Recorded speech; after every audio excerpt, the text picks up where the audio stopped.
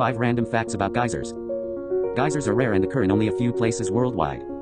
The word geyser comes from Iceland's Geysir, which means gusher in Icelandic. Old Faithful at Yellowstone National Park erupts roughly every 90 minutes. Geysers can shoot water and steam hundreds of feet into the air. Geysers require specific underground conditions, including a water source, heat, and a narrow plumbing system.